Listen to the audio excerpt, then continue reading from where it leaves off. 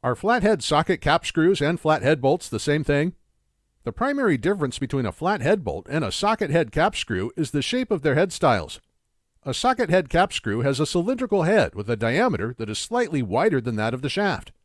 A flathead bolt's conical or cone shaped head extends at an angle from the neck. Both of these fasteners have a recessed drive that's used for smooth installation.